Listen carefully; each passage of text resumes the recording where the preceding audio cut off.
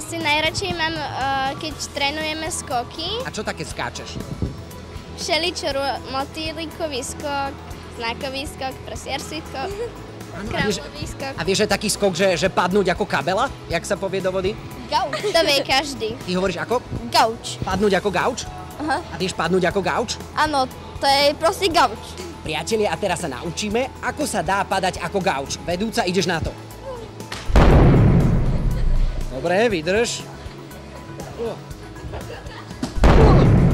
Takže takto padá gauč, hej? Toto neskúšajte doma, milí priatelia.